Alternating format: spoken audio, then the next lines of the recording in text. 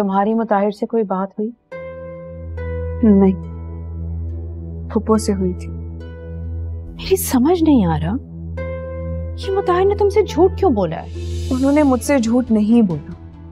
बस ये है कि उन्होंने वापस आकर मुझे नहीं बताया और वो अपने घर चले गए। क्यों नहीं बताया? बीवी हो तुम उसकी। तुम तो कह रही थी मुताहिर तुमसे बहुत प्यार करता है अजलान से बहुत प्यार करता है। तो फिर वो घर क्यों गया? उसे सीधा यहाँ आना चाहिए था ना?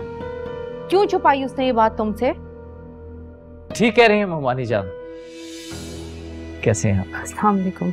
सलाम। असल में क्या हुआ मोमानी जान कि मैं एयरपोर्ट से सीधा मॉल चला गया। दुबई में मुझे टाइम नहीं मिला। अब मैं इस घर में खाली हाथ अच्छा तो नहीं लगता नहाते हुए। सोचा अपनी बीवी और बच्चे के लिए कुछ लेता हुआ जाऊँ। अब मुझे क्या पता था कि आप मुझे मॉल में इस तरह देख लेंगी और मेरा सारा सरप्राइज़ खराब हो जाएगा। थैंक यू मुताहिर मैंने कहा था ना आपसे आप जैसा सोच रही हैं वैसा बिल्कुल भी नहीं। मुताहिर मेरा और अजनान का बहुत ख्याल रखते।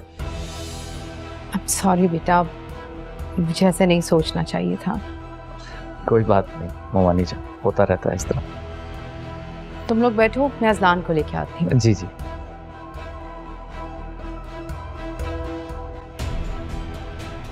कैसी हो मैं ठीक हूँ तुम कैसे हो? बहुत मिस किया मैंने। मैंने भी।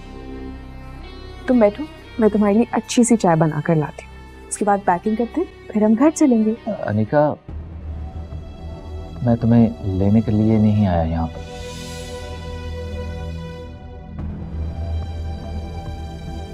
देखो एक्चुअली क्या है कि मुझे कल सुबह दोबारा दुबई वापस जाना है। एक मिनट। क्या कहा तुमने? कि तुम वापस जाओगे। तुम अभी आए हो और तुम जाने की बात कर तुम्हें पता है मैंने कितना इंतज़ार किया है तुम्हारा और अब तुम तुम्हें क्या बताऊँ, मैं खुद तंग आ गया हूँ यार। लेकिन तुम जानती हो ना, मेरी नई नई जॉब है। तो कितना प्रेशर है मुझ पर, इतनी सारी असाइनमेंट्स हैं।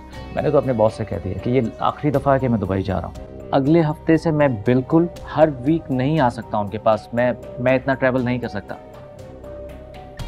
आखिर मैं अपने बच्चे और बीवी को भी बहुत मिस करता हूँ। 어?